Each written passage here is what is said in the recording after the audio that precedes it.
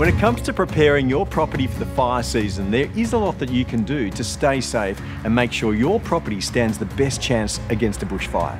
As a property owner, the thinning and clearing of vegetation and other fire hazards is an important responsibility that falls on you for the safety of yourself and those around you.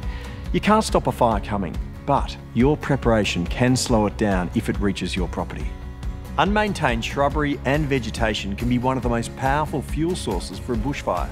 So you can reduce the risk by keeping grass length below 10 centimetres, clearing out any gutters, removing leaves, twigs or dry branches from the ground, trimming overhanging branches, removing, thinning and distancing bushes close to your home, and creating and maintaining fire breaks on your property. We've included a link in the description of this video with information about clearing hazards. If you need to clear vegetation to create a defendable space around your home or property, a planning permit may be required. This depends on where the vegetation is and whether it's a weed or indigenous to the area. Sometimes you'll need a permit to remove trees, depending on how far away they are from a building. But always check Council's website for bushfire preparation permit requirements. To reduce the fuel load around your property, burning off may be an option. Just remember, for the safety of yourself and others, burning off is strictly prohibited during the fire danger period.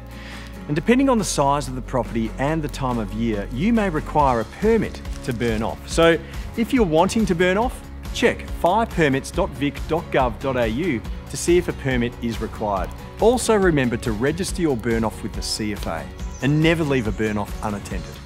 After clearing the risk, consider replanting the area with any number of indigenous plants that produce low fuel load. The CFA have great resources on what and where to plant to minimise the risk. Each year, ahead of the fire danger period, our team of fire prevention officers carry out inspections to identify properties that may present a fire hazard. Any property that is deemed to be a fire risk will be issued with a fire prevention notice to undertake works on their property. We all have a role to play in making sure our Shire is the safest and most prepared it can be for the fire season. For more info on how to clear your property and to learn more about permits and exemptions, visit nillumbik.vic.gov.au.